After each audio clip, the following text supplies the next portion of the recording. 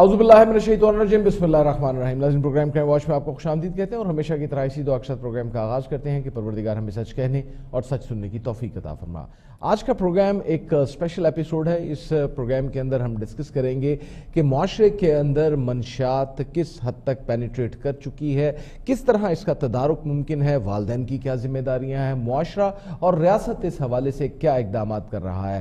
لیکن اس سے پہلے کہ ہم پروگرام جو ہے اس کا باقاعدہ آغاز کریں، میرا خیال ہے کہ ہمیں کچھ فیکٹس اینڈ فگر کی ضرورت ہوگی کہ منشیات کس طریقے کے ساتھ اور کس سپیڈ کے ساتھ اس سوسائٹی کے اندر پینیٹریٹ کر رہی ہے۔ ہمارے ساتھ اس وقت ذوالفقار شاہ موجود ہیں۔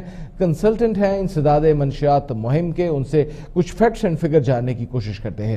ذوالفقار شاہ صاحب ویلکم ٹو دا شو جی سر، بہت مہربانی، شکریہ جناب۔ شاہ صاحب، کچھ فیکٹس اینڈ فگر ہمارے ساتھ آپ شیئر کر پائیں گے کہ اس وقت پاکستان کے اندر منشیات استعمال کرنے والوں کی تعداد کیا ہے اور کس ریشو کے ساتھ اس میں اضافہ ہو رہا ہے؟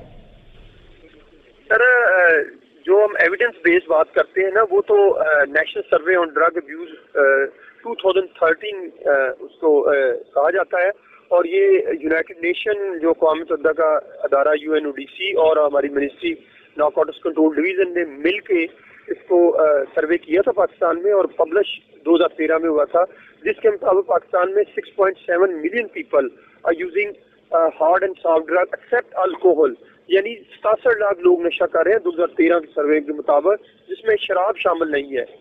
یہ اور اس بعد صوبہ پنجاب، اس میں تقریباً تیرہ پرسنٹ ہے، اس کے بعد صوبہ بلوچستان ہے، بلوچستان کے بعد صوبہ سندھ ہے اور اس کے بعد جو پنجاب کی ریشو ہے وہ لاسٹ یعنی تقریباً کوئی نیئر اباؤٹ فور پرسنٹ کے قریب ہے۔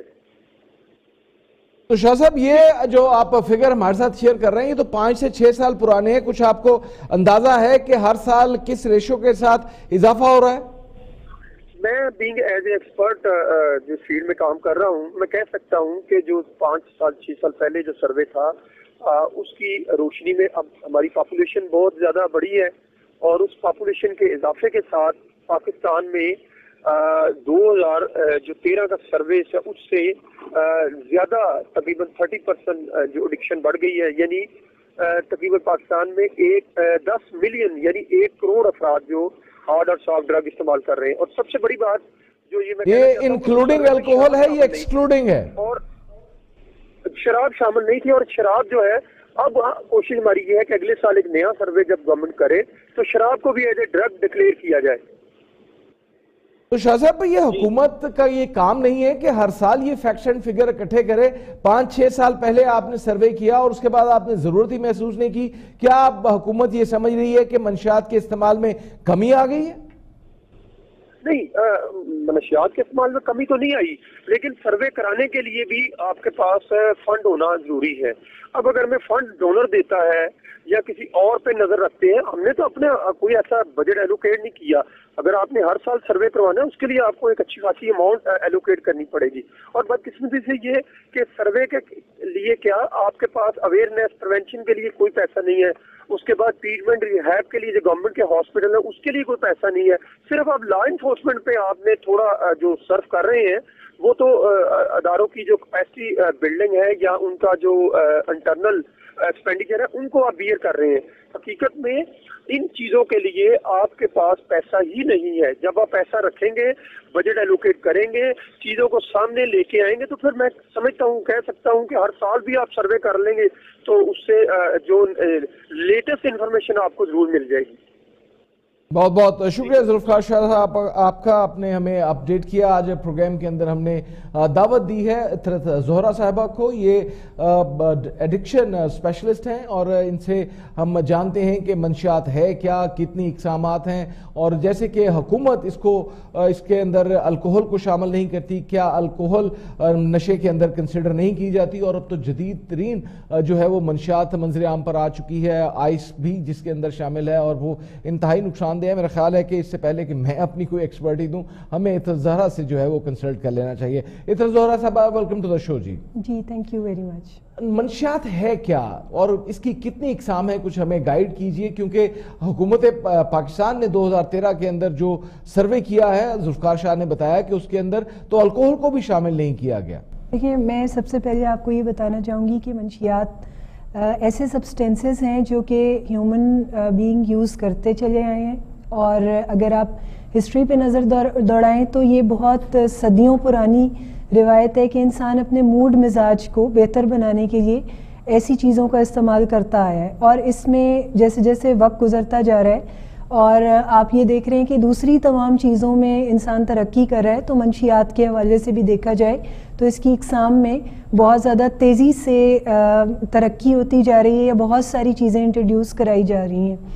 اگر میں آپ کو بتانا چاہوں کہ منشیات ہیں کیا تو یہ وہ چیزیں ہیں جو انسان کی باڈی ہضم کر لیتی ہے میٹابولائز کر لیتی ہے اور انسان صدیوں سے آج تک ان چیزوں سے فائدہ اٹھاتا آیا ہے۔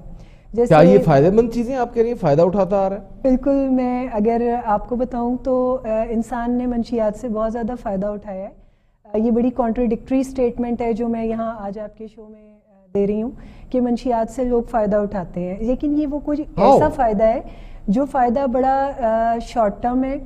ایسا فائدہ ہے جس فائدے کو بار بار استعمال کرنے کی لالچ انسان میں بڑھتی چلی جاتی ہے۔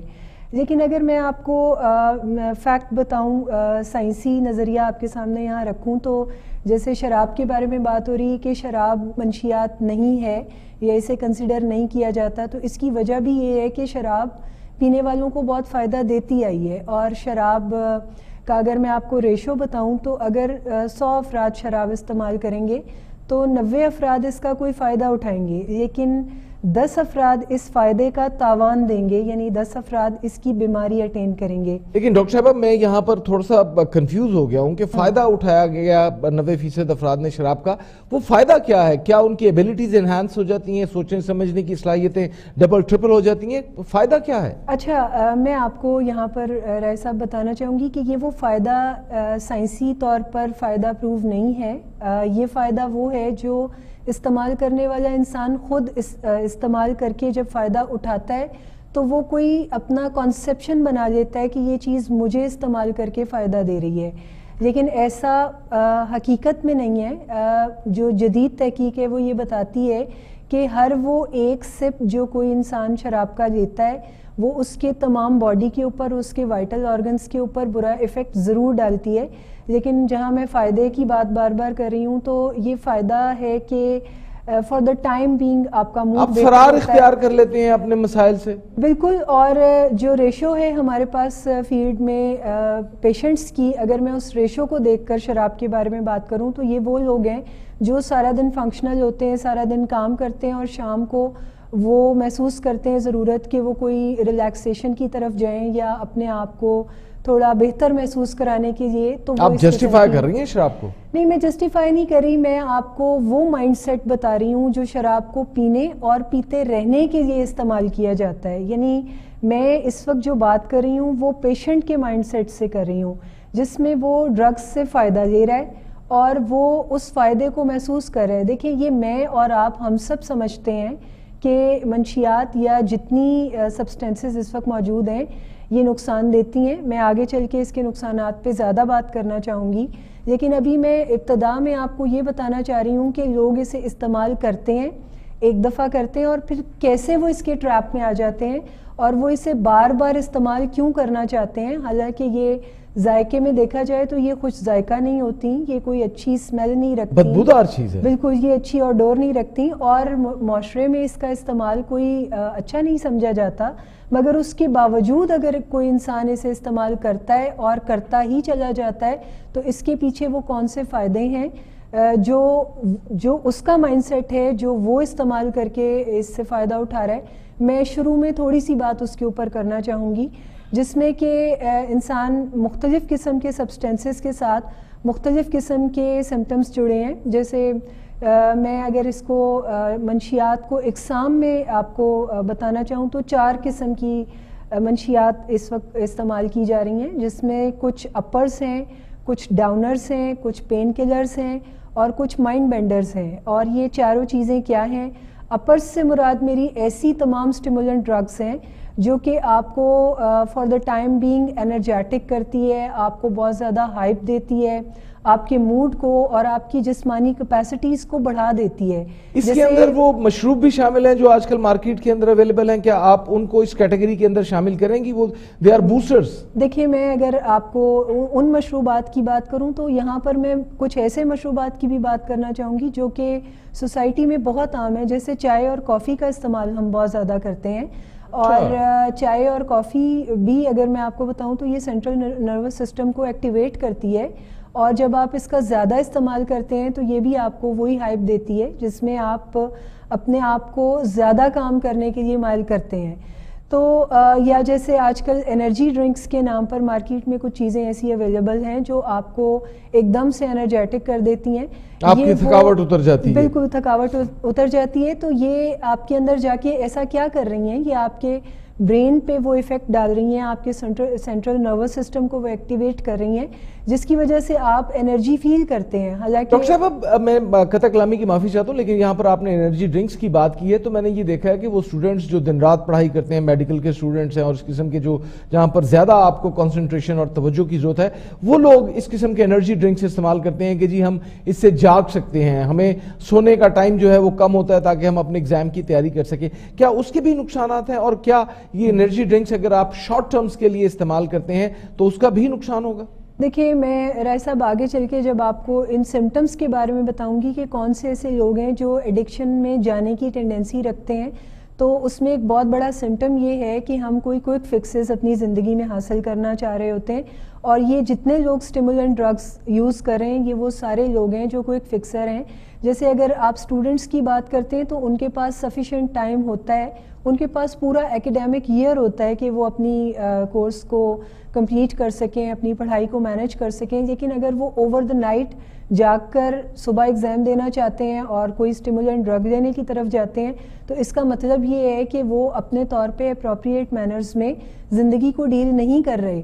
اور یہ کوئی مناسب انداز نہیں ہے، یہ کوئی بیلنس لیونگ نہیں ہے۔ وہ، یہ کوئی اچھی بات نہیں ہے کہ وہ سارا سال اپنے آپ کو ویسٹ کریں اپنی صلاحیتوں کو استعمال نہیں کریں اور جیسے ہی ایگزام نزدیک آیا اور انہوں نے ایسی کوئی اپر یا ایسا کوئی اسٹیمولنٹ لینا شروع کیا جو کہ ان کو یہ وہی بات ہے کہ جسٹیفیکیشن ہے لیکن یہ کوئی مناسب بات نہیں ہے۔ اور پیرنٹس بھی اس چیز کو بادر نہیں کرتے وہ کہتے ہیں کہ انرجی ڈرنک ہے مارکیٹ کے اندر اویلیبل ہے بچے پی رہے ہیں اس کے ساتھ اگر وہ دن رات پڑھائی کر رہے ہیں تو اس میں کوئی حرج نہیں ہے۔ پیرنٹس کو کوئی ایڈوائز کرنا چاہیں گے آپ؟ دیکھیں میں یہاں پر پیرنٹس کو بھی ایڈوائز کرنا چاہوں گی اور یہاں پر بڑی ضرورت ہے کہ معاشرے میں بات چیت کی جائے۔ میں ایسی کچھ نیوٹرل ایڈکشنز کی بھی بات کرنا چاہوں گی۔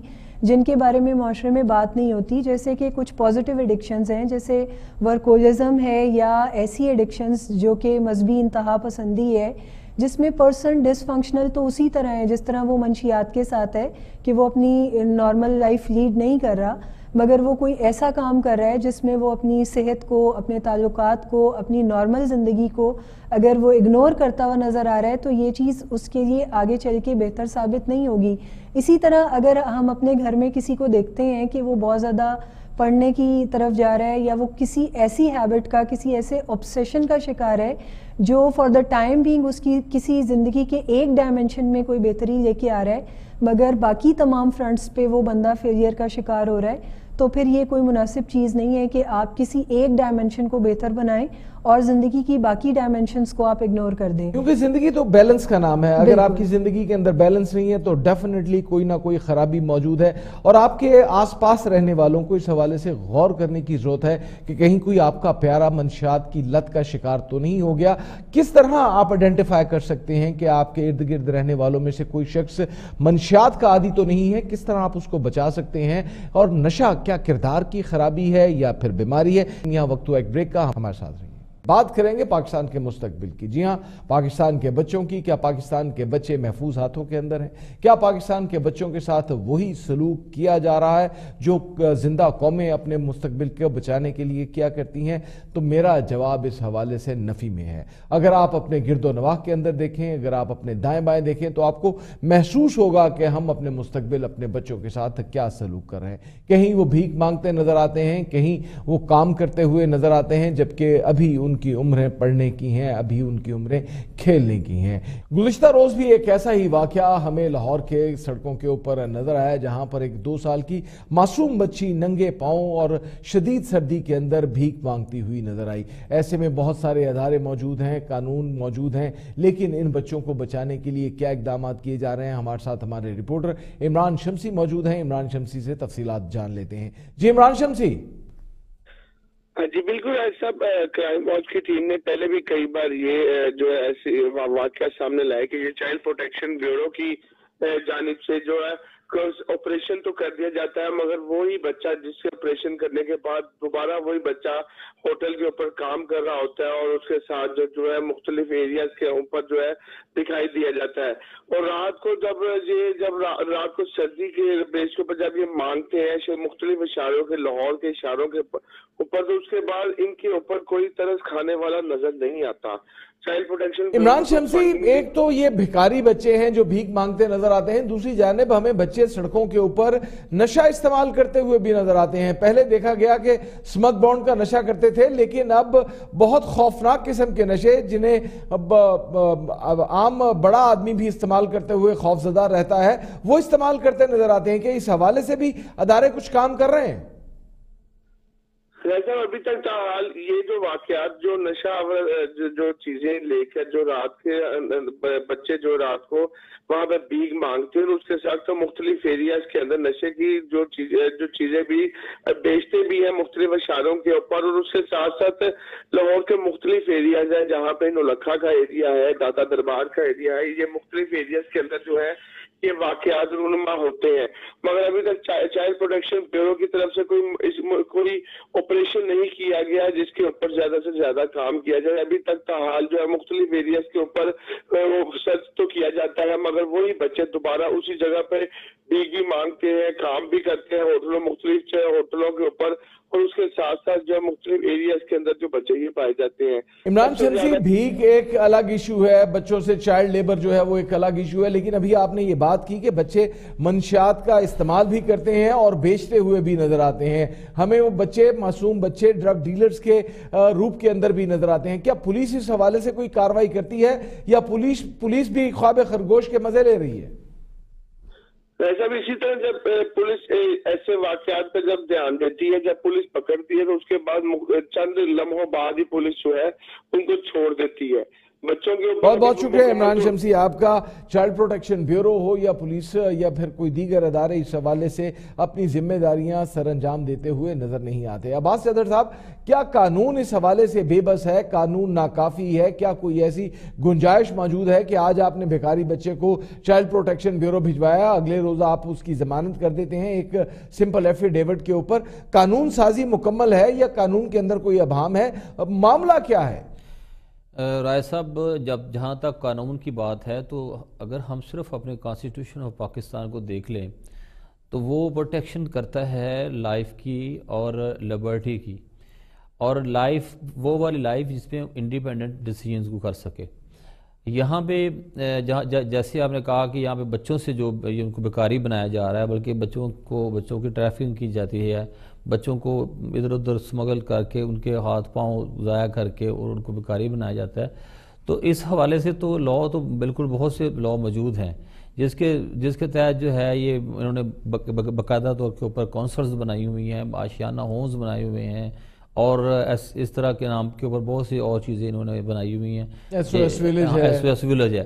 جی۔ لیکن اصل بات یہ ہے کہ آپ امپلیمنٹ اگر اس کو کریں تو اگر آپ ایک بیکاری کو پکڑ کے مجسٹریٹ کے پاس لے جائیں گے تو وہ اس کے لاء کے مطابق وہ بے اوفنس ہے بلکہ انٹرفیرنس بھی آپ سمجھے ایسے ہی ہوتی ہے وہ اٹھا کے اس کو نیکسٹ چھوڑنے کے علاوہ چوائس کیوں نہیں کیونکہ اچھا عباس صدر صاحب اس کو کہتے ہیں۔ چائلڈ پروٹیکشن بیورو کی چیئر پرسن سارا احمد ہمارے ساتھ ٹیلی فون لائن کے اوپر موجود ہیں ان سے بات کر لیتے ہیں قوانین کا ان سے پوچھ لیتے ہیں۔ سارا احمد صاحب welcome to the show G thank you for inviting me Sara Ahmed صاحبہ، گزشتہ روز آپ کے ادارے نے ایک بہت اچھا کام کیا، ایک دو سال کی معصوم بچی کو ریسکیو کیا، جس کے والدین اس سے زبردستی بھیک منگوا رہے تھے۔ وہ بچی ننگے پاؤں اس شدید سردی کے اندر بھیک مانگ رہی تھی۔ خراج تحسین پیش کرتے ہیں آپ کو۔ لیکن اس کے ساتھ ساتھ جاننا یہ چاہتے ہیں آپ سے کہ کیا آپ یہ سمجھتی ہیں کہ آپ کا ادارہ اس حوالے سے کام کو مکمل خوش اسلوبی کے ساتھ سر انجام دے رہا ہے یا کہیں کوئی کمی کوتاہی موجود ہے؟ جی ایک تو میں دن نیوز کی ٹیم کو شکریہ ادا کروں گی سب سے پہلے کہ انہوں نے ہمیں اس یہ بچے کے بارے میں بتایا جو اپینڈنٹ ٹو ایئرس کا بچہ تھا اور آپ کی آپ کے چینل کی ٹیم کے ساتھ ہی مل کے ہم نے اس کو ریسکیو کیا اور اب ہمارے پاس تحویل میں ہے چائلڈ پروٹیکشن بیورو کی اور یہ صرف ایک واقعہ نہیں ہے چائلڈ پروٹیکشن بیورو ہر روز ہمارے پاس ایسی کالز آتی ہیں ڈفرینٹ میڈیا چینل سے آتی ہیں تھانوں سے آتی ہیں ہاسپٹل سے آتی ہیں، جس پر ہم جو ہے کارروائی کرتے ہیں۔ میں آپ کو اگزامپل دوں گی، پچھلے ہفتے بھی ایک اور چینل کی انفارمیشن پر ہم نے ایک بچے کو، جو کہ میل نرش تھا، وہ پندرہ کلو اس کا ویٹ ہونا چاہیے تھا، ڈیڑھ سال کا بچہ۔ اس کا ویٹ تھا فائیو کے جی اس کو اس کی ماں نے دوائی پلا کے جو ہے وہ یوز کری تھی ایکسپلوئٹ کری تھی چائلڈ بیگری کے لیے بھیگ مانگنے کے لیے۔ وہ ایک فٹ پاتھ پہ اتنی ٹھنڈ میں، لاہور میں بیٹھی ہوئی مہینوں سے۔ ایک تو ہمیں جیسی انفارمیشن ملی، ایک چینل کے تھرو ہم گئے، اس بچے کو لے کے اور اب وہ ہمارے پاس دے رہا ہے۔ This is just one example اس کے علاوہ بھی کچرے کے ڈھیر سے ہمیں ایک بچی ملی، شیخو پورا۔ ہم نے اس کو شفٹ کروایا، لاہور میں اب ہمارے پاس ہے۔ روز ایسے کیسز آتے ہیں بچوں کی جہاں ہم ریسکیو کرتے ہیں بچوں کو۔ تو آئی تھنک یہ کام کوئی اور ادارہ ابھی کر نہیں رہا ہے، پورے پاکستان میں، صرف پنجاب میں نہیں۔ اور میری پوری کوشش ہے کہ جتنے اچھے طریقے سے ہو سکے کوئی کہیں بچہ اسٹریٹ پہ اکیلے نہ ہو۔ یہ اس طرح کام کیا جائے کہ تمام بچوں کو ہم حفاظت پرووائڈ کر سکیں تحفظ پرووائڈ کر سکیں۔ احمد صاحبہ یہ میں سمجھتا ہوں کہ صرف چائلڈ پروٹیکشن بیورو کی ذمہ داری نہیں ہے سوسائٹیز کے اندر برابر کی ذمہ دار ہے۔ سوسائٹی اور یہ ادارے مل جل کر کام کرتے ہیں جس سے ایک بہتر سوسائٹی مارز وجود کے اندر آتی ہے۔ لیکن بدقسمتی کے ساتھ ایک جانب آپ یہ کہہ رہی ہیں کہ روزانہ اس قسم کے واقعات ہو رہے ہیں آپ بچوں کو ریسکیو کرتے ہیں۔ لیکن دوسری جانب اگر آج اس لمحے ہم سڑک کے اوپر نکل کر دیکھیں تو آپ کو ہزاروں کی تعداد کے اندر صرف لاہور شہر کے اندر سڑکوں کے اوپر، بھکاری بچے دکانوں کے اوپر کام کرتے ہوئے بچے، گھروں کے اندر کام کرتے ہوئے بچے نظر آئیں گے۔ کیا قانون کے اندر کوئی کجی ہے؟ یا پھر ہم لوگ اس انداز کے اندر کام نہیں کر پا رہے جس انداز کے اندر ہمیں کام کرنا چاہیے؟ جی میں آپ کی بات سے اتفاق کرتی ہوں کہ ایک اسٹیٹ کا ڈپارٹمنٹ اکیلے نہیں کر سکتا۔ اس بیماری کا خاتمہ جو کہ بہت بڑی، بڑے طریقے سے پھیلی ہوئی ہے معاشرے میں۔ اس کی تمام اسٹیک ہولڈرز اگر اپنا رول پلے کریں، جیسے جس میں میڈیا ہو گیا، جس میں ہمارا ڈپارٹمنٹ ہو گیا، جس میں تمام یہ سول سوسائٹی ہو گئی اور این جی اوز سب مل کے اس بھی جوائن ہینڈ تو آئی ایم شیور کہ ہم اس کو اریڈیکیٹ کر سکتے ہیں. جو آپ نے سگنلز پہ بچوں کی، بیکاری بچوں کی بات کی، اس کا میں آپ کو بتاتی ہوں کہ چائلڈ پروٹیکشن بیورو ہر روز ایک ریسکیو آپریشن کر رہا ہے. تو روزانہ اراؤنڈ تیس بچے ہمیں ملتے ہیں، ہم ان کو پک کرتے ہیں اور ان کو لے کے آتے ہیں، ان کو صرف رکھتے نہیں ہیں اپنے ادارے میں، ہم ان کو ریہیبلیٹیٹ کرتے ہیں اور ان کے والدین کے خلاف ایف آئی آر کٹوائی جاتی ہے کیونکہ ہمارے P D N C act ہے۔ کیونکہ آپ نے لا کی بات کی تو میں بتاؤں گی کہ Punjab destitute neglected childrens act ہے۔ اس میں section thirty six A it's only for child beggary thirty six اور تھرٹی سکس اے وہ لگوا کے ہم پیرنٹس کے خلاف جو ہے کورٹ ایف آئی آر کرواتے ہیں پولیس کے ساتھ مل کے پیرنٹس کو گرفتار، اس میں گرفتاری بھی ہے. مطلب اس جرم کی کافی بڑی سزا ہے کہ اپنے بچے کو آپ بھکاری بنائیں. تو اس میں ان کو خلاف سزا ہوتی ہے اور بچے کو ہم اپنے پاس رکھ لیتے ہیں اور ایک طرح سے یہ سزا ہوتی ہے تاکہ وہ اگلی دفعہ یہ دوبارہ کام نہ کرے اور ہم خود حکومت جا کے کہہ رہی ہے بیکاری بچوں کو، ان کے والدین کو کہ بچوں کو ہمیں دو، ہم ان کو اپنے پاس رکھیں گے کیونکہ ہمارا صرف رکھتے ہی ایک اسکول ہے پراپر ہمارے ادارے میں۔ ہم ان کو پڑھاتے ہیں، ہمارے پاس ڈاکٹر ہے اپنا۔ تو بچے کا تو ایک بہترین مستقبل نظر آتا ہے چائلڈ پروٹیکشن بیورو میں۔ لیکن جب ہم ان کو یہ کہتے ہیں تو ان کو سمجھ نہیں آتی کیونکہ یہ ان کا ذریعہ آمدن ہے۔ انفارچونیٹلی مین جو گراس روٹ کاز ہے وہ ہے غربت۔ تو والدین بچوں کو استعمال کر رہے ہیں پیسہ کمانے کے لیے۔ لیکن ہم ان کو ایک آپشن دے رہے ہیں کہ آپ ہمیں دے دیں بچہ۔ پورے اس کے اخراجات، اس کی پڑھائی، اس کا رہنا، سب کھانا پینا ہماری ذمہ داری ہوگا۔ جب تک وہ اٹھارہ سال کا نہیں ہو جاتا۔ اور آپ کے چینل کے تھرو میں اپنی ہیلپ لائن کا بھی بتانا چاہوں گی۔ ون ون ٹو ون گیارہ اکیس، یہ ہماری ہیلپ لائن ہے۔ کہیں کوئی لاوارث، لاپتہ، گمشدہ، کوئی بچہ دیکھیں چائلڈ ابیوز کا کوئی کیس دیکھیں، بچے کا زیادتی کا ٹارچر کا، ہمیں انفارم کریں تاکہ ہم جا کے وہاں ایکشن کریں۔ کوئی میرے جب سے میں موجود ہوں، کوئی ایسا کیس نہیں ہے جو ہمیں رپورٹ ہوا ہو اور اس پر ہم نے فوراً ایکشن نہ کیا ہو۔ نہیں، اس حوالے سے سارا احمد صاحبہ، ہم آپ کو اپریشیٹ کریں گے کہ گزشتہ روز بھی جب کرائم واچ کی ٹیم نے اس حوالے سے آپ کے ادارے سے کانٹیکٹ کیا، تو آپ لوگوں نے فوراً اس بچے کو ریسکیو کیا۔ لیکن یہاں پر سوال یہ ہے کہ آپ لوگ ان بچوں کو جو بھکاری ہوتے ہیں، ان کے پیرنٹس کو ضمانت پر واپس بھی کر دیتے ہیں۔ وہ کون سا قانون ہے اور کتنی دیر کے لیے آپ رکھ سکتے ہیں کیا قانون اس بات کو پابند نہیں کرتا کہ ان بچوں کو، ان کے والدین کے حوالے کبھی بھی نہ کیا جائے؟ اچھا نہیں، میں آپ کو بتاتی ہوں قانون جو ہے نا، وہ یہ کہتا ہے کہ پہلے ایک دفعہ اگر ہم دیکھیں ایک بچے کو ایک کہیں پہ بھی مانگتے ہوئے، ہم اس کو اپنی تحویل میں لے آئیں اور اس کو واپس جو ہے، والدین کو دے دیا جاتا ہے۔ لیکن اگر یہ قانون میں لکھا ہوا ہے، اگر دوبارہ دیکھیں جو ریپیٹ افینڈرز ہوتے ہیں نا ریپیٹ کیس ہے اگر بیگری کا، پھر ہم جو ہے، اس پہ وہ ایکشن لیا جاتا ہے سیکشن تھرٹی سکس کے تحت۔ تو وہ وہ ایکشن یہ ہے کہ بچے کو تو بیورو اپنے پاس رکھے گا وہ جو ڈیوریشن ہے، وہ جج ہمارا جو چائلڈ پروٹیکشن کورٹ کے وہ تعین کرتے ہیں ہی ڈٹرمنٹ اس میں میرا انٹرفیئرنس نہیں ہوتا۔ اور اس کے علاوہ جو پیرنٹس ہیں نا، جو والد ہیں، اس پہ کاروائی کی جاتی ہے۔ اس پہ وہ یہ ہے، ایک تو پینلٹی ہے دس ہزار سے لے کے ایک لاکھ روپے تک، ٹھیک ہے ڈیپینڈنگ آن دا کیس اس کے علاوہ جیل بھی ہے، اور وہ ہے تین مہینے سے لے کے ایک سال تک۔ تو یہ سزائیں تو موجود ہیں۔ ہو یہ رہا تھا میں آپ کو بتاؤں، پہلے۔ ان پہ نا امپلیمنٹیشن نہیں ہو رہی تھی۔ قانون تھا، بچہ آتا تھا اور چلا جاتا تھا اور کاروائی بھی نہیں ہوتی تھی۔ بٹ آئی ایم ان شاء اللہ میکنگ شور شیور کے ہر کیس میں، ہر مطلب کہ والدین کو کاروائی کی جائے ان کو سزا ملے، کیونکہ جب تک سزا نہیں ملے گی، پھر وہ چیز ٹھیک نہیں ہو سکتی اور وہ بچہ ہمیں واپس اس سگنل پہ نظر آتا ہے تو ہم بہت بہت شکریہ سارا احمد صاحبہ بڑی تفصیل کے ساتھ آپ نے ہمیں آگاہ کیا۔ آپ نے بتایا کہ قوانین موجود ہیں لیکن ماضی میں ان کے اوپر عمل درآمد نہیں ہوتا تھا۔ یہ وہی بیان ہے جو ماضی کے اندر بھی چائلڈ پروٹیکشن بیورو کے سربراہان دیتے رہے ہیں۔ سبا صادق صاحبہ بھی پروگرام کے اندر آئی تھی جو گزشتہ چیئر پرسن تھی ان کی بھی سٹیٹمنٹ تقریباً ایسی ہی تھی۔ لیکن آج بھی حال احوال وہی ہے جو ماضی کے اندر تھا۔ عباس صدر صاحب سنا آپ نے سارا احمد نے جو کہا، قوانین کا حوالہ دیا، انہوں نے۔ اب آپ کیا کہتے ہیں؟ کیا قوانین کی موجودگی موجود ہے؟ قوانین ڈھیلے ڈھالے ہیں یا پھر یہاں پر کجیاں موجود ہیں، خامیاں موجود ہیں؟ ایک قوانین تو نہ ہونے کے برابر ہے نا۔ دیکھیں، بات یہ ہے کہ آپ نے دو دو چیزیں ایک وقت میں کرنی ہوتی ہیں۔ ایک تو آپ نے وہ جو بچہ آپ نے ریسکیو کیا ہے، جس کو وہ خاص طور کے اوپر اگر وہ اسے اس کو بیکاری بنا کے اسے بھیک منگوائی جا رہی ہے تو ایسے بچے کے متعلق اس کا فیوچر کا فیصلہ کرنا۔ اب فیوچر کا فیصلہ جہاں پہ پیرنٹس ہوں گے وہاں پہ آپ ان کو ونس وہ کہہ رہے ہیں کہ ہمارے پاس ہم ایک دفعہ ان کو واپس کر دیں گے اور سیکنڈ ٹائم ہم تھرٹی سکس میں ایف آئی آر کرا دیں گے۔ تو ایف آئی آر کیا اویلیبل اوفینس ہے؟ اس میں کوئی جج کسی کو ہولڈ تو نہیں کر سکتا۔ اچھا۔ میرا یہ خیال ہے کہ اس کے اندر ہونا یہ چاہیے کہ بنیادی طور کے اوپر جو پیرنٹس ہیں اور جو بچہ اگر بھیک مانگ رہا ہے اور اس کی سرٹن ایج ظاہری بات ہے اب مائنورٹی میں ستارہ اٹھارہ سال جو بڑا ہو جاتا ہے بچہ، چاہے آپ اس کو ایٹ ایئر رکھ لیں ٹین ایئر تک رکھ لیں، ایک لمٹ تک بچے کی ایج رکھیں اور اس کے بعد اس اوفینس کو to the extent of parents اس میں اس کی سزا بڑھانی چاہیے اور اس کو نان بیلیبل ہونا چاہیے۔ جہاں پہ مائنر بچہ جو ہے وہ اس سے بھیک منگوائی جا رہی ہو، وہ اس کی رسپانسبلٹی ڈائریکٹ اونس پیرنٹس پہ ڈال دینا چاہیے۔ اور وہ بچہ جو خاص خاص طور کے اوپر جس کو کسی وجہ سے معذور کیا گیا ہے اور کسی وجہ سے، جیسے انہوں نے بتایا کہ بچے کا ویٹ، اس کا ایج وائز پندرہ کلو ہونا چاہیے تھا اور اس کو انہوں نے میڈیسن دے کے یا جیسے بھی اس کے ویٹ کو پانچ کلو کیا ہوا تھا تاکہ اس سے بھی مانگ سکے۔ تو یہ آپ انفیکٹ اصل میں اس بچے کے تھری ٹوئنٹی فور کے تحت اس بچے کو آپ مارنے کی کوشش کر رہے ہیں۔ تو ایسے حالات میں وہ سیکشن بھی جو ہے اپلیکیبل ہونے چاہیے جو ہمارے پاکستان پینل کوڈ کے ہیں۔ یہ آپ ونس کریں سیکنڈ ٹائم بھی کریں تھرڈ ٹائم بھی کریں اور یہ پاکستان لیول پہ، پورے پاکستان لیول پہ ایک ٹائم پہ ہونا چاہیے۔ آپ ایک دفعہ اس میں آرڈیننس اتنے آرڈیننس آپ پاس کرتے ہیں تو اس ایک لا کو تبدیل کر کے اس کو بے لیبل کی بجائے نان بے لیبل آفینس کریں۔ اور سیکنڈ اس میں جو پیرنٹس ہیں ان کو ڈائریکٹلی طور کے اوپر رسپانسبلٹی ان کے شولڈر پر شفٹ کریں، ایک خاص ایج تک۔ جب کئی لوگ بڑے ہو جاتے ہیں، بارہ، پندرہ سال کے بعد بچے آوارہ بھی ہو جاتے ہیں۔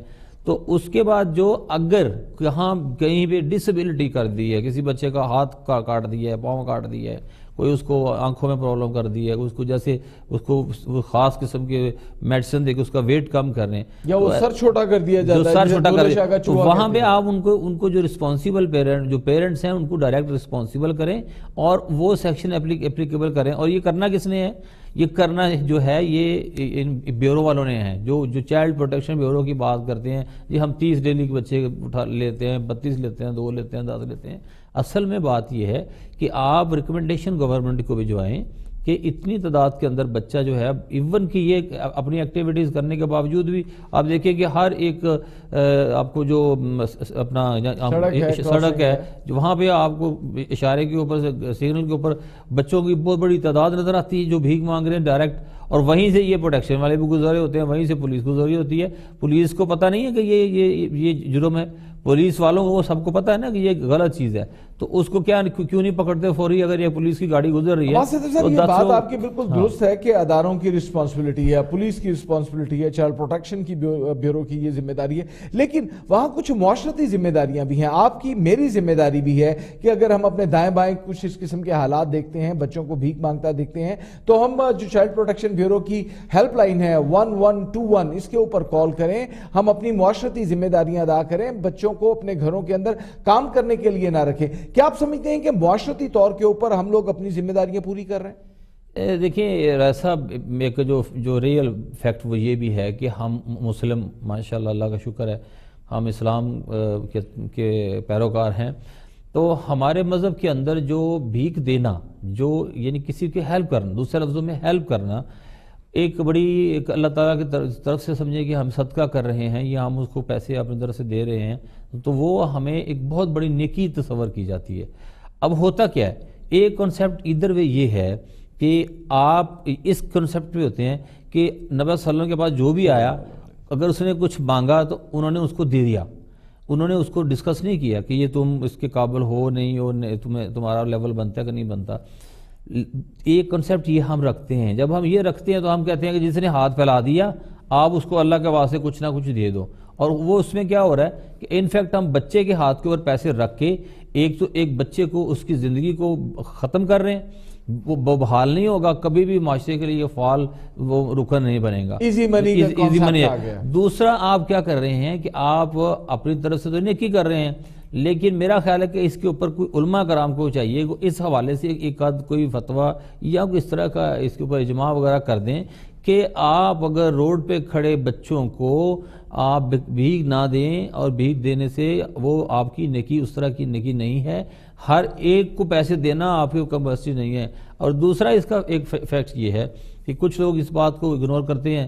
وہ کہتے ہیں جی کہ نہیں جی یہ تو ان کو تو دینا نہیں چاہیے، یہ واقعی امید ہے کہ اس حوالے سے نہ صرف ہم بطور ایک معاشرہ اپنی ذمہ داریاں پوری کریں گے، بلکہ حکومت اور ادارے بھی اپنی ذمہ داریوں کا احساس کرتے ہوئے نہ صرف سخت قانون سازی کریں گے، بلکہ قانون کے اوپر عمل درآمد بھی کریں گے۔ وقت ایک بریک اپ ہمارے ساتھ رہی ویلکم بیک ناظرین میاں بیوی کے درمیان جھگڑا کوئی انوکھی بات نہیں ہے. تقریباً سبھی گھروں کے اندر میاں بیوی کے درمیان جھگڑے ہو جاتے ہیں، بات تلخی ہوتی ہے، لیکن معاملات سلجھ جاتے ہیں. لیکن وہ جھگڑے جو گھروں سے باہر نکل آتے ہیں، جن کے لیے فیصلے سڑکوں کے اوپر کیے جاتے ہیں، وہ نقصان دہ ہوتے ہیں، نہ صرف ان میاں بیوی کے لیے، بلکہ ان کی آنے والی نسلوں کے لیے بھی. ایک واقعہ جس کا تعلق چنیوٹ کے ساتھ ہے. کیا واقعہ ہوا؟ کیا معاملہ ہے؟ پہلے آپ کو دکھاتے ہیں، پھر اس پر تبصرہ کریں گے. جی پروڈیوسر صاحب چلائیے فوٹیج جو چنیوٹ کی ہے اور میاں بیوی جھگڑ رہے ہیں دکھائیے۔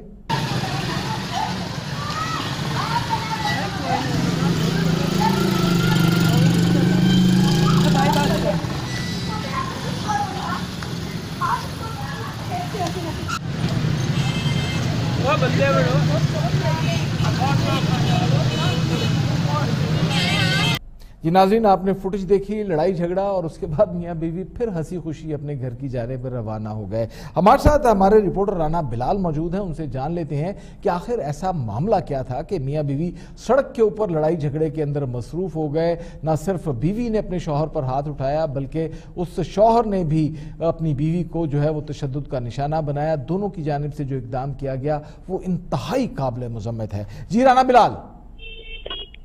جی بالکل رائے صاحب، میں آپ کو بتاتا چلتا ہوں کہ چنیوٹ میں جو ہے کہ یہ بڑا ہی شرمناک واقعہ ہے کہ جو پیش آیا ہے، پیش آیا ہے کہ جس میں جو میاں بیوی جو ہے کہ آپس میں جو ہے کہ جھگڑ پڑے ہیں کہ جہاں پہ اگر دیکھا جائے تو ایسا کہیں بھی دکھنے میں نہیں آج تک آیا کہ ایسی مثال نہ ہی ملتی ہے کہ میاں بیوی سڑک پہ جو ہے کہ ایک دوسرے پہ جو ہے کہ لاتوں گوتوں کا اور کپڑوں کی جو ہے کہ برسات کر دیتے ہیں کہ ایک دوسرے کے ساتھ اس طرح بہانا جو ہے کہ ایک دوسرے پہ تشدد کرتے ہیں۔ یہ ایک مثال ایسی ہے کہ جو پہلے آج سے کبھی نہیں دیکھی گئی اور سب سے بڑی بات یہ کہ یہ ایڈیو کمپلیکس کے باہر جو ہے کہ یہ واقعہ سڑک پہ پیش آیا جہاں پہ لوگ بھی جو ہے کہ صرف تماشا ہی بنے رہے اور کسی نے بھی انہیں چڑھوانے کی کوشش نہ کی، صرف ایک تماشا دیکھنے سے اور ان کے لیے ایک نیا کام تھا کہ جو یہ ہو رہا تھا اور روڈ پہ جو ہے کہ میاں بھی ایک دوسرے کے ساتھ جو کہ گتم گتا ہو رہے تھے۔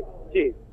بہت بہت شکریہ آپ کا۔ وائزہ رفیق آپ نے دیکھا کہ میاں بیوی دونوں جھگڑ رہے ہیں۔ بیوی کو سڑک کے اوپر پٹ کھا گیا، بیوی نے تھپڑ مارے، شوہر نے جواباً تھپڑ مارے۔ کس نے پہل کی، کس نے نہیں کی؟ لیکن اس قسم کے معاملات روزانہ عدالتوں کے اندر آتے ہیں۔ ابھی پروگرام شروع ہونے سے پہلے جب آپ سے بات ہو رہی تھی، تو آپ نے کہا کہ فیملی عدالتوں کے باہر اس قسم کے معاملات، اس قسم کے جھگڑے روزانہ دیکھنے کے اندر آ رہے ہیں۔ آپ کا ایکسپیرینس کیا ہے؟ آپ کا تجربہ کیا کہتا ہے کہ نوعیت، نوبت یہاں تک کیوں کر پہنچ جاتی ہے؟ دیکھیے رائے صاحب، اس میں قانونی نقطۂ نظر سے دیکھنے سے پہلے ہمیں ایک معاشرتی نظر سے دیکھنا چاہیے اس معاملے کو۔ فیملی جو ہے، وہ سوسائٹی کا یونٹ ہے۔ یعنی معاشرہ جو اوور آل اس کا معاشرے کا سٹرکچر ہے، اس کی جو ساخت ہے، وہ ایک ایک یونٹ سے بن کے ملتی ہے اور یونٹ جو ہے، وہ ایک فیملی ایک یونٹ کانسٹیٹیوٹ ہوتا ہے۔ اب معاشرے میں اتنی انٹالرنس ہے معاشرے میں اتنی تشدد پسندی ہے، معاشرے میں اتنا ایکسٹریمزم ہے۔ وہ ایکسٹریمزم کہاں سے آیا ہے؟ وہ نیچے سے یونٹ سے ہی پروپیگیٹ کر کے ایک بڑے سٹرکچر کی فارم لے گیا ہے۔ تو لہٰذا اس میں میں تو یہ سمجھتی ہوں کہ تعلیم کی صبر کی اور انڈرسٹینڈنگ کی کمی ہے اس میں قانون تو ہم نافذ کر دیتے ہیں۔ فیملی کورٹس میں بھی جیسے پہلے ذکر ہو رہا تھا فیصلے تو ہو جاتے ہیں۔ لیکن وہ فیصلے امپلیمنٹ تو پھر انہی لوگوں پر ہونے ہیں۔ آپ نے دیکھا ہوگا کہ آپ جن عدالتوں کے اندر پیش ہوتی ہیں ان عدالتوں کے اندر جب یہ معاملات آتے ہیں اور تو یہ بتایا جاتا ہے میاں کی جانب سے بھی بیوی کی جانب سے کہ جی شادی کے پہلے روز سے ہمارے جھگڑے شروع ہو گئے تھے اور ان کے پھر چھ بچے بھی ہوتے ہیں۔ کیا وجہ ہے کہ ہم لوگ معاملات کو سیٹل ڈاؤن کرنے کی کوشش نہیں کرتے؟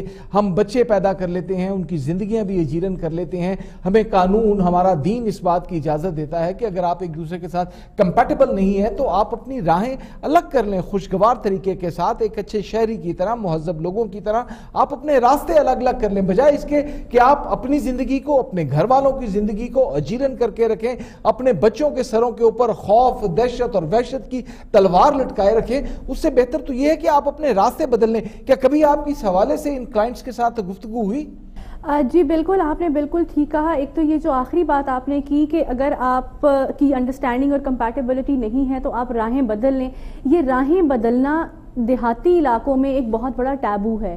ایون اربن ایریاز میں بھی ہمارا کلچر اس طرح کا ہے کہ ڈائیورس کو ایک بہت بڑا ٹیبو سمجھا جاتا ہے۔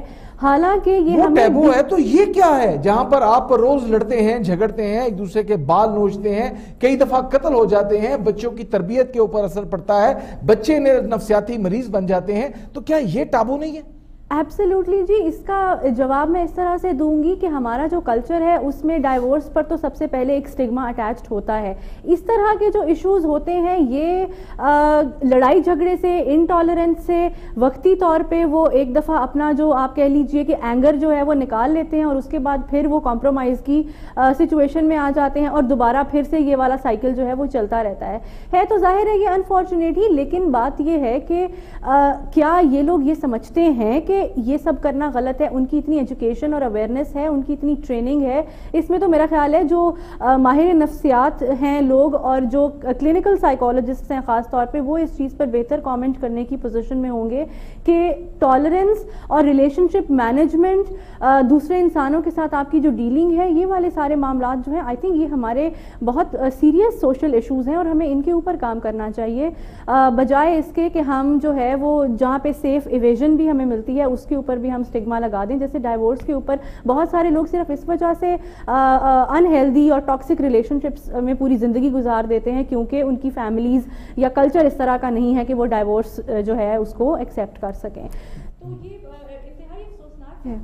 بہرحال بات یہی ہے کہ اگر آپ کسی موقع کے اوپر، کسی سٹیج کے اوپر یہ سمجھتے ہیں کہ آپ کا ساتھی آپ کے ساتھ کمپیٹیبل نہیں ہے، آپ کی نفسیات ایک دوسرے کے ساتھ نہیں ملتی، آپ لوگ ایک دوسرے کے لیے باعث اذیت بنتے جا رہے ہیں، تو دین نے آپ کو یہ راستہ دیا ہے۔ اور حلال چیزوں میں سے اگرچہ سب سے تکلیف دے اور بری چیز طلاق کو سمجھا گیا ہے، لیکن اس کی اجازت دی گئی ہے۔ اور اسی لیے دی گئی ہے کہ اگر آپ لوگ ایک دوسرے کے ساتھ بہتر طریقے سے نہیں رہ سکتے، تو پورے خاندان کی زندگی کو برباد مت کیجیے کیجیے، اپنی زندگیوں کو تباہ نہ کیجیے، اپنی آنے والی نسل کو نفسیاتی مریض مت بنائیے، سوسائٹی کے لیے ایک کارآمد شہری بنیے۔ آپ کمپیٹیبل نہیں ہیں، آپ کی راہیں الگ ہو سکتی ہیں اور بہتر یہی ہوتا ہے کہ جہاں پر آپ دیکھیں کہ زندگی آپ کے ساتھ پراپر انداز کے اندر معاملات کو لے کر نہیں چل رہی، تو اپنے راستے کو بدل لیجیے، بجائے اس کے کہ ایک دوسرے کے لیے باعث اذیت بنتے رہیں۔ اگلی کہانی کی طرف آپ کو لیے چلیں۔ اگلی کہانی کا تعلق لودھرا کے ساتھ ہے۔ لودھرا کے اندر ایک خاتون پر یہ الزام ہے کہ اس نے بارہ نکاح کر رکھے ہیں۔ یہ خاتون کون ہے؟ کیا اس کا معاملہ ہے؟ ایک متاثرہ شخص نے اس حوالے سے شکایت بھی کی ہے پولیس کے پاس۔ اس شخص کا کیا کہنا ہے؟ پہلے وہ سن لیجیے، پھر رپورٹر سے بات کرتے ہیں۔ جی پروڈیوسر صاحب، سنائیے اس متاثرہ شخص کا کیا کہنا ہے؟ جی میرا نام حبیب محمد ریحان ہے۔ میں کنڈا وستی رانا، ٹھیک ہے۔ یہ نہید اختر میرے نال فون دے گال کریں دی رہی ہے، پیسے منگویں دی رہی ہے۔ محبت جانسا دیتے سی میرے نال میرے نال آٹھ نہیں پہلے نکاح کیتے سی نکاح دے ویچ اشارت جیری تیت تھی او ترے ہزار روپیہ حق المار آئی پانچ مرلیاں دا پلاٹ ہے این بعد اچ بیاں شرطاں ایکڑ زمین دا لکھوا گی دے مولوی دے رلیا ہے اے بہوں وڈا گروہ ہے دس مرلیاں دا پلاٹ ڈا لاکھ روپیہ اگر بھئی طلاق دے ساں میری مڈی جری ہائی ساری سامان جرا ہائی چاہ دے فرار تھی گئی میں ہی ٹائم ہسپتال داخل ہاں میرے کو علاج کرن کی تے پیسے کر میں اعلیٰ قوم سے اپیل کرے نا انہاں گروہ کو بہت بڑا گروہ ہے۔ اندنال عورتیں ڈا بار ہم مار دین جرے دنیا کو لٹے نن لوکاں کو بلیک میل کر دے، پرچے دین دی زنا دے۔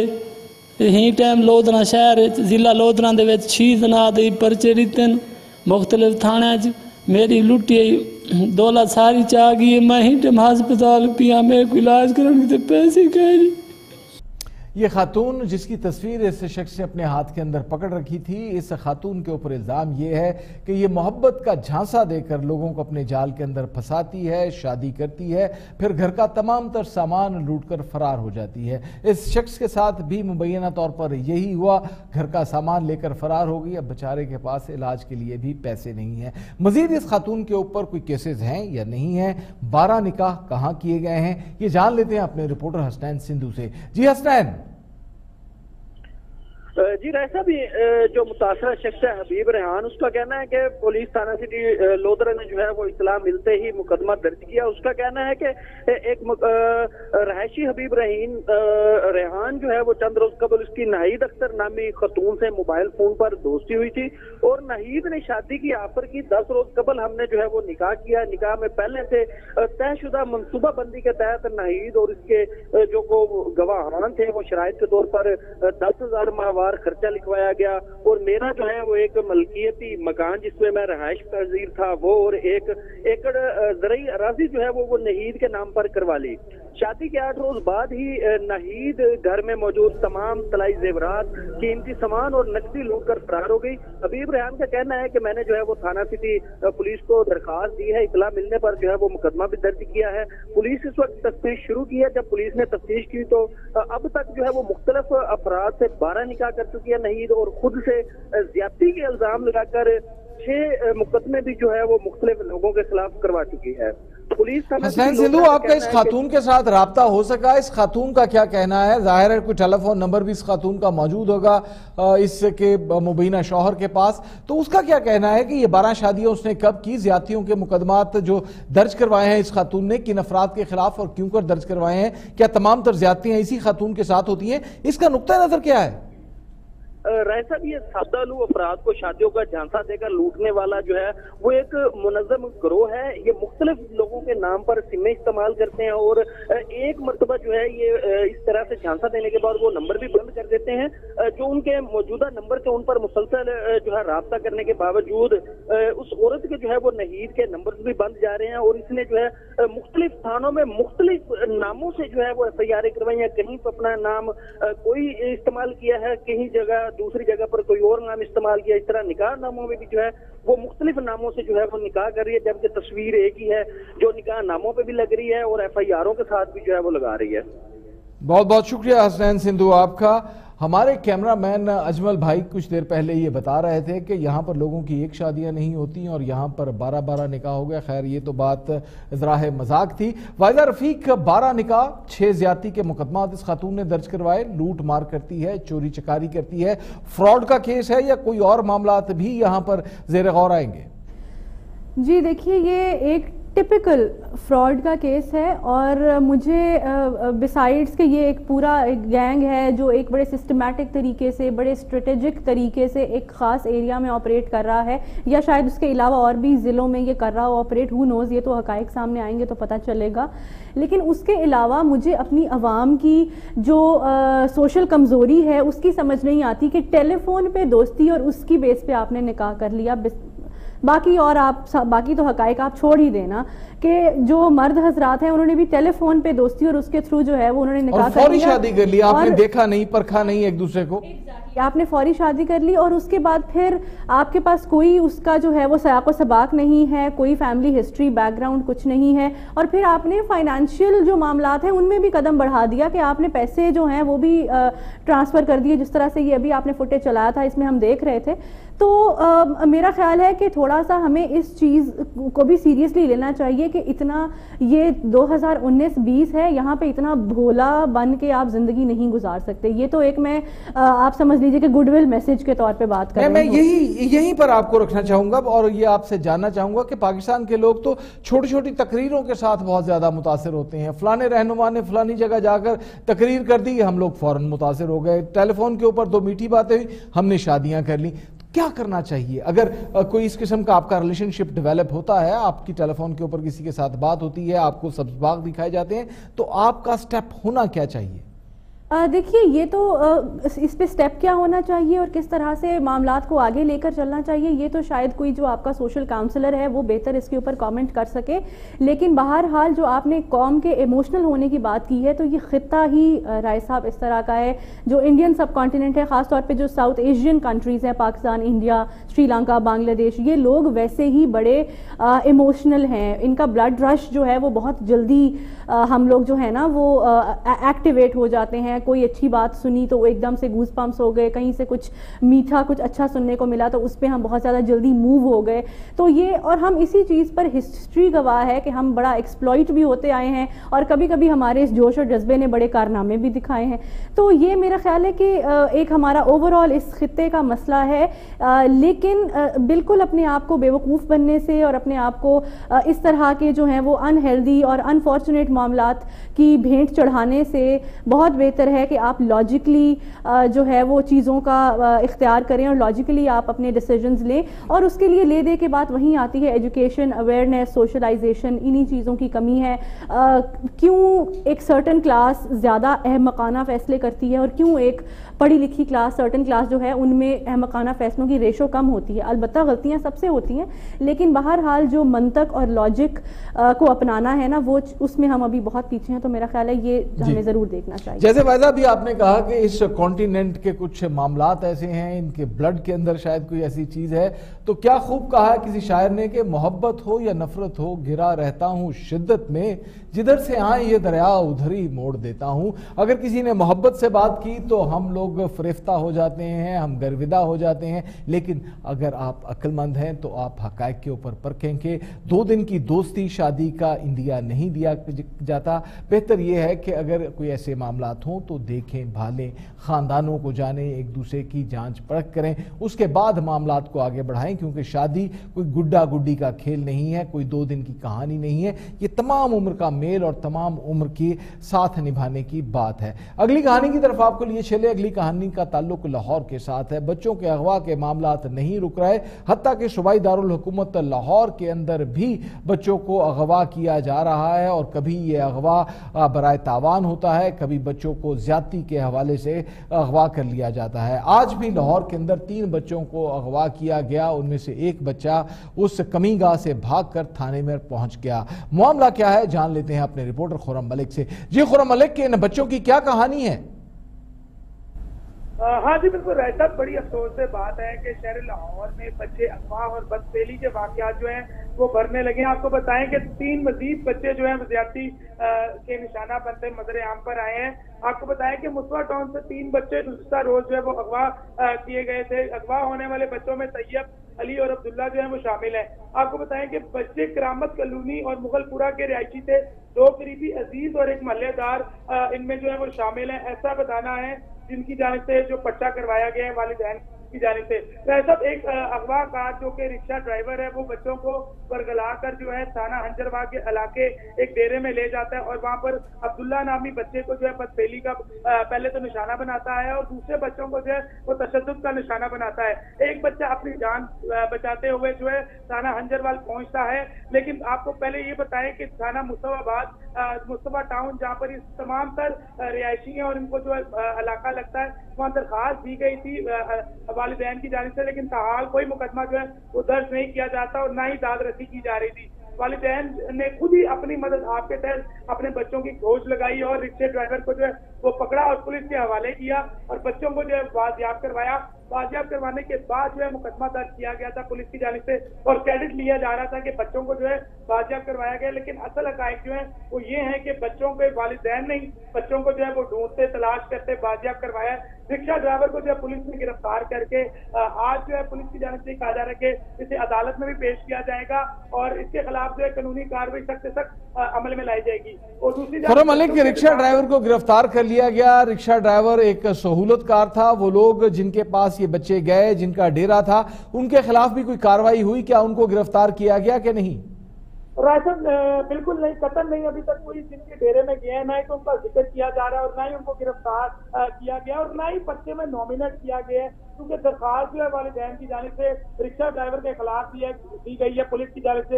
یہ کہا جا رہا ہے کہ اس لیے رکشہ ڈرائیور کے خلاف بھی کاروائی عمل میں لائی گئی ہے اور رکشہ ڈرائیور کو بہت بہت شکریہ خورم ملک آپ کا۔ فائزہ رفیق، پولیس کا کردار کسی سے ڈھکا چھپا نہیں ہے، لیکن معاملات درست ہونے کا نام نہیں لیتے۔ پولیس کے ہائے آپ سے یہ کہتے ضرور ہیں کہ کارکردگی درست نہیں ہے، ہم بہتر کرنے کے لیے اقدامات کر رہے ہیں، فنڈز مانگے جاتے ہیں، ٹریننگ کورسز کروائے جاتے ہیں۔ عدالتیں یہ کہتی ہیں کہ یہ لوگ تحقیقات تفتیش درست انداز کے اندر نہیں کرتے۔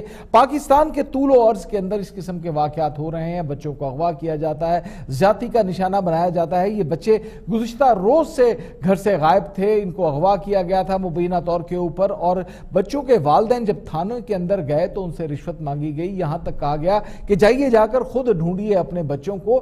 پولیس کی ٹریننگ، پولیس کی ورکشاپس، ان کے کورسز کس کام آئیں گے؟ اگر یہ لوگ اپنے آپ کو درست کرنے کے لیے تیار نہیں ہیں، تو کیا یہ ٹریننگز کو یہ اثر ڈال سکتی ہیں؟ دیکھیے، ایسے جو والدین ہیں یا ایسے جو بھی سائلین ہیں جو پولیس اسٹیشن میں جاتے ہیں اور وہاں جا کے ان کی دادرسی نہیں ہوتی، ان کے پاس بیسک بیسک دو تین جو ہیں وہ راستے ہیں۔ ایک تو یہ کہ جو جہاں پر ایف آئی آر درج کرنے سے آپ کو پولیس آفیسر انکار کر دے، آپ ڈائریکٹ کورٹ میں اپلیکیشن دے کے ان کو ڈائریکشن دلوا سکتے ہیں کہ جو ایف آئی آر رجسٹر کی جائے اور کورٹس عموماً اس طرح سے کر دیتی ہیں۔ اس کے علاوہ جو اس وقت آن ڈیوٹی پولیس آفیسر ہیں، جس نے آپ کو انکار کیا ہے، یہ اس کے کوڈ آف کانڈکٹ میں نہیں آتا کہ وہ کسی آنے والے سائل کو منع کرے۔ لہٰذا اس کے خلاف آپ ڈپارٹمنٹل پروسیڈنگز انیشیٹ کرنے کی مس کانڈکٹ کی درخواست بھی دے سکتے ہیں۔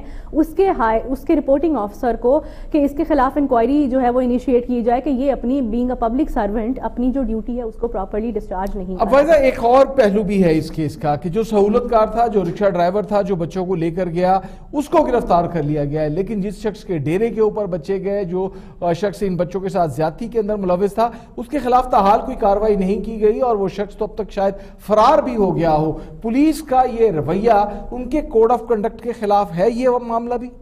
آف کورس جی پولیس کا اور کام کیا ہے؟ جو پولیس کا کام ہے، وہ کام ہی جب نہیں انجام دیا جانا، تو پھر پولیس کو کی تو، ظاہر ہے ڈیوٹی تو وہ ڈسچارج نہ ہوئی۔ تو اس میں بہت ضروری ہے کہ پولیس کی ٹریننگ اور ریفارمز اور ان چیزوں کے اوپر تو ہم خیر ہمیشہ بات کرتے ہی ہیں لیکن اس کے علاوہ یہ ایک ٹپکل جو ہے نا آپ سمجھ لیجیے کہ نیپوٹزم کا معاملہ ہے کہ اس میں جو بڑا اثر و رسوخ رکھنے والا بندہ ہے اس پر کوئی ہاتھ نہیں ڈالتا اور جو کمزور ہیں لوگ یا جو درمیان میں مڈل مین ہوتے ہیں وہی اسی حد تک ہی صرف ہماری پولیس انویسٹیگیشن میں رہتی ہے۔ بلکہ میں ایک چیز ضرور آپ سے اور ضرور ذکر کروں کہ یہ صرف بچوں کے ساتھ زیادتی نہیں بلکہ بچوں کے آرگنز جو ہیں ان کو نکال کے ان کو بھی سیل آؤٹ کرنے کے لیے استعمال کیا جاتا ہے اور اس میں جو ملوث لوگ ہوتے ہیں، ان لوگوں کے خلاف ایف آئی آرز تو کیا ان کے خلاف جب کمپلینٹ آتی ہے تو اس سے پہلے ہی ان کی پری اریسٹ بیلز ہو چکی ہوتی ہیں ان تک انفارمیشن بھی پہنچ جاتی ہے کہ جی آپ کے خلاف یہ اپلیکیشن آنے لگی ہے لہٰذا اپنا بندوبست آپ پہلے سے ہی کر لیں۔ تو جی۔ کیا حقیقت میں آپ کے سامنے بیان کروں؟ یہ تو بہت اس ملک کے اندر یہ تاثر مزید ڈیولپ ہوتا جا رہا ہے کہ جس کی لاٹھی اس کی بھینس۔ اگر آپ کے پاس پیسے ہیں یا آپ کے پاس طاقت ہے تو تھانے ہوں کچہریاں ہوں صرف آپ کی بات سنی جائے گی۔ لیکن اگر آپ عام آدمی ہیں تو نیا پاکستان آپ کے کسی کام آنے والا نہیں ہے۔ کیونکہ نئے پاکستان کا صرف نام تبدیل کیا گیا ہے، اس کا سٹرکچر تبدیل کرنے کے لیے کوئی کوشش نہیں کی گئی۔ حتیٰ کہ سوا سال ہونے کے باوجود نئے پاکستان کے لیے کسی قسم کی کوئی ابتدا نظر نہیں آتی۔ کیونکہ اگر کوئی ابتدا نظر آتی تو کم از کم پولیس ریفارمز ہو چکی ہوتی۔ بات ضرور کی جا رہی ہے، لیکن ریفارمز تاحال صرف کاغذوں تک محدود ہیں۔ پروگرام کا وقت ختم ہوا چاہتا ہے، اپنے میزبان رائے کو اجازت دیجیے اور اپنا بہت سا خیال رکھے کیونکہ آپ ہی تو ہیں پاکستان۔